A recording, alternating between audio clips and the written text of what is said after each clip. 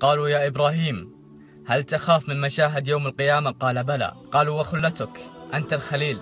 قال أهوال القيامة سوف تنسيني خلتي. حتى يقال أن سيدنا موسى عليه السلام يقول يا رب لا أسألك عن أخي هارون.